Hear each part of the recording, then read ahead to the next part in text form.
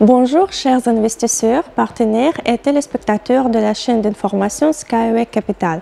Je m'appelle Carmen et maintenant vous verrez un autre résumé de nouvelles vidéos de Skyway dans laquelle nous parlons de tous les événements importants et les réalisations du groupe de société Skyway et Skyway Capital.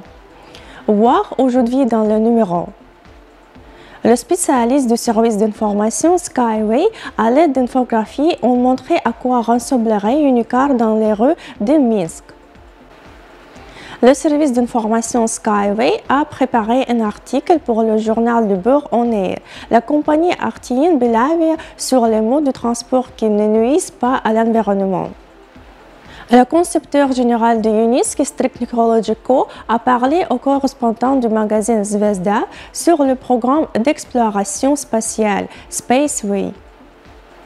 Le 5 décembre 2019 à 21h59 heure de Moscou, Skyway passera à une nouvelle étape de développement, 14.n.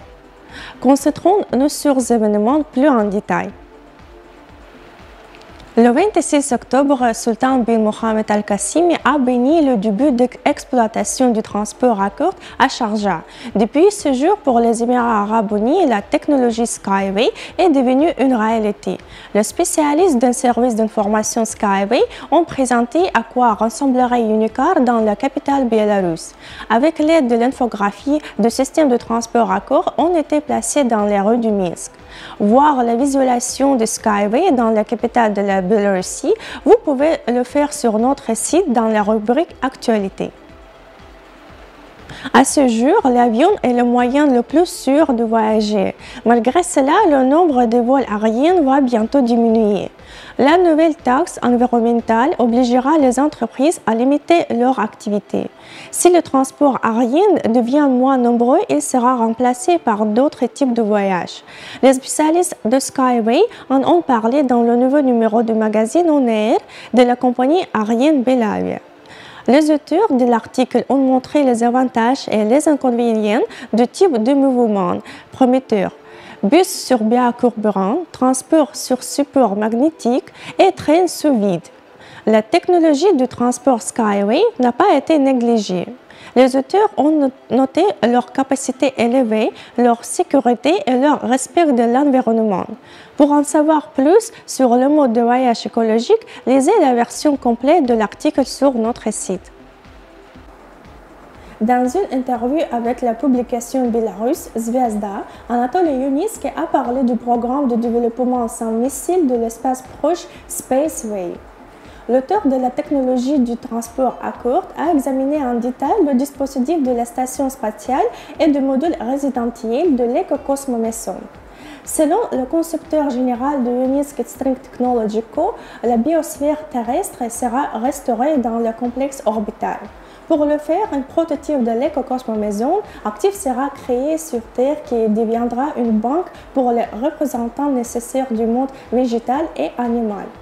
Pour en savoir plus sur l'écocosmo maison et le programme Spaceway, consultez la version complète de l'article sur notre site web dans la rubrique Actualité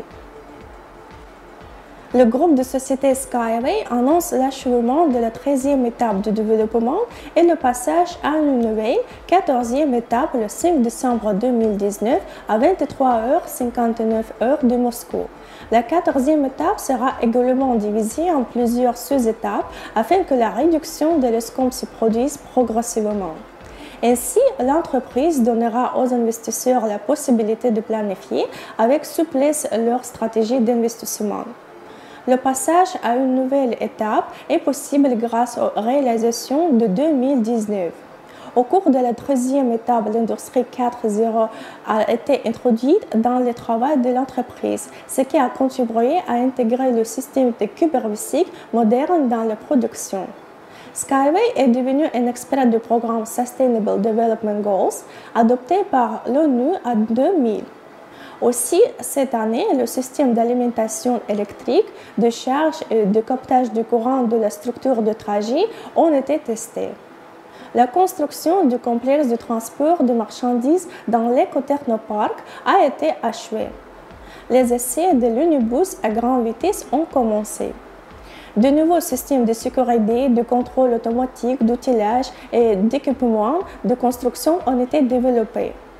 Les et les détails de ces réalisations et d'autres de la 13e étape sur notre site.